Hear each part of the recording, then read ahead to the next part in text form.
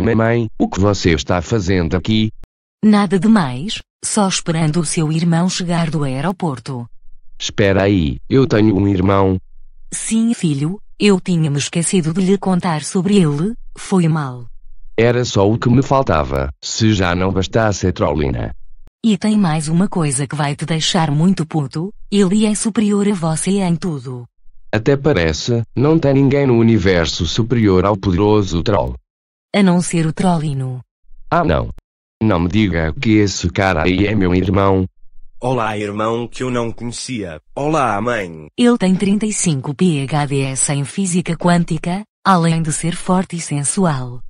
Não fala assim que fico até sem jeito. Grande merda. Eu também tenho um PhD, mamãe. Só se for em vadiagem troll. Exceto o seu irmão pode-se dizer que o Trollino não tem defeitos. Até parece, realmente o poderoso Troll aqui não tem defeitos.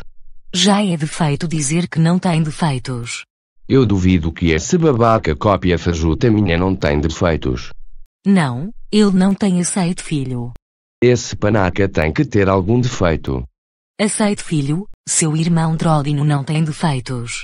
Troll, que história é essa de fazer xixi no meu quintal e Ai minha nossa, quem é essa linda moça? Estou apaixonado. É, você tem razão, ele tem um defeito sim, seu péssimo gosto.